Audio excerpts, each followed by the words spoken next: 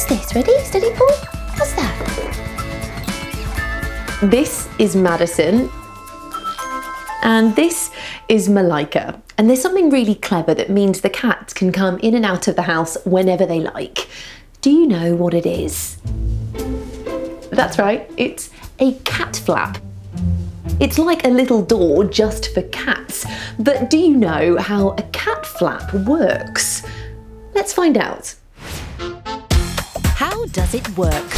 A cat flap. To show you how a cat flap works, let's see if we can get Madison and Malika to use it. They like to sneak in and out throughout the day, so I'm going to set up two special cameras. One on the inside and one outside. They like to come out to play after they've had their lunch. Watch what happens. Our cameras are all set up.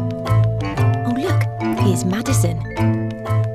Is she going to get through? Yes, she's in. Whoa, that was fast, wasn't it? I tell you what, let's watch it again, this time in slow motion. Watch how Madison pushes it open with her nose. Did you hear the sound that the cat flap made when the door opened and closed? Listen again. Sounds like a click, doesn't it?